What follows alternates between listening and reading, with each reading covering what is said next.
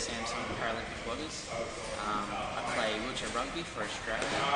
Um, I've only been in the team for about a year and a half, coming up on two years, so I, this is my first Paralympic Games here in London. Um, it's been pretty, pretty, uh, pretty different sort of experience coming into the village yesterday. Um, it's yeah, it's.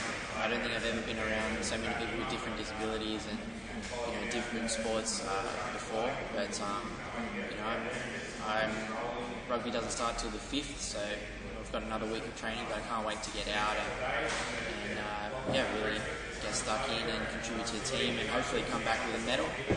Um, so over over the games, I'll be uh, uploading more vlogs like this and uh, talking to some of my teammates, new players, old players, uh, you know, about their experience and my experience and, and all that sort of thing. Um, I'll take you into the village a little bit, um, show you my room and uh, the apartments that we're in and, and uh, some of the other you know, other things and, and uh, areas around London and uh, yeah, hopefully a bit of an insight into my uh, first experience.